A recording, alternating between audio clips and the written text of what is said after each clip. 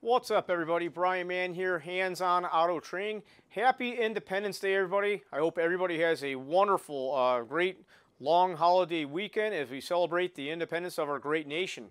Uh, guys, I just want to let you know, I'm going to share with you right now uh, about two minutes of a 10-minute lesson that's on the membership site for uh, core and premium members. Guys, over here uh, on the membership site, we do have AC Circuit Basics. This is something uh, I've been working on for a while, and uh, really I've been learning a whole lot about myself. I'll be the first one to tell you, I use my voltmeter almost every day you, uh, checking DC circuits. I mean, this is something I do all the time, um, but AC circuits are something I really have not been familiar with and really dived into a whole lot. But uh, I've been learning a lot lately, so I'm taking along uh, to share with you what I'm learning. Uh, in the next lesson, which I don't have published yet, it's not up there, we'll be working on the AC filters, uh, you know, using inductors and capacitors to kind of modify the, the um, properties of an AC circuit. I couldn't think of the right word, but Anyhow, here you go. Here is a quick video preview. As this current flow is changing, you're going to actually see uh, a, a, sine wave. Uh, this here is a sine wave on roll mode. Before we get too involved here, I want to show you the setup that I'm using. Now there are some voltage measurements that are super important for us to understand. Uh, there's three major measurements and, and there's a way to get to each measurement from another with a mathematical formula.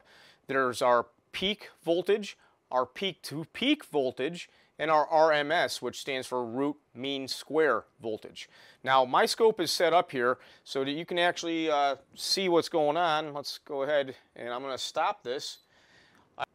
Root mean square is actually, there's a formula for it. It's 1 over the square root of 2 times your uh, peak voltage or voltage uh, peak. Guys, mathematically that works out. I'm not so concerned with mathematics, just trying to expose you guys to some very basic things. Here, we're at, uh, what, 1.008 seconds? Guys, that is one complete cycle. And the formula for uh, frequency is a little f equals 1 divided by the time that it takes for one complete cycle to happen, or a period to happen. Let's bust out our calculator, and we said 1 divided by the time it takes for one cycle to happen will equal our frequency in hertz.